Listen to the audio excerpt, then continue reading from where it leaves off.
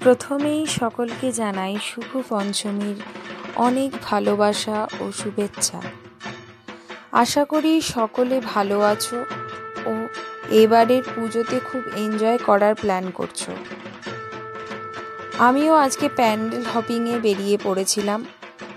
অনেক কটা মণ্ডপ ঘুরলাম আর তার মধ্যে একটি মাত্র মণ্ডপই ভিডিও করতে পেরেছি।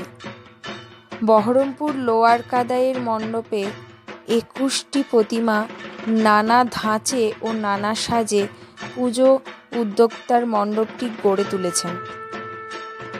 আমার ভীষণ ভালো লাগল, আপনারাও দেখুন। ভালো লাগবে আশা করি, আর ভালো লাগলে অবশ্যই চ্যানেলটি লাইক, কমেন্ট এবং সাবস্ক্রাইব করে দেবেন। সকলকে জানাই শারদীয়ার প্রীতি ও শুভেচ্ছা।